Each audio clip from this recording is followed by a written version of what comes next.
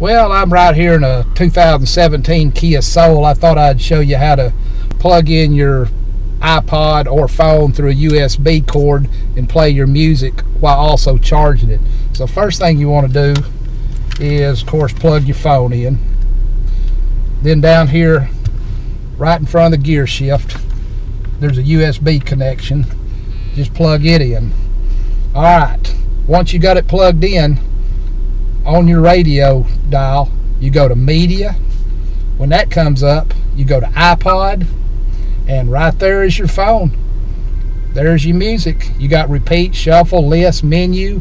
So now you can play your music on your iPod or your iPhone while also charging it. I hope this helped you out. If it did, give me a thumbs up. Subscribe to my channel. Till next time, catch you later.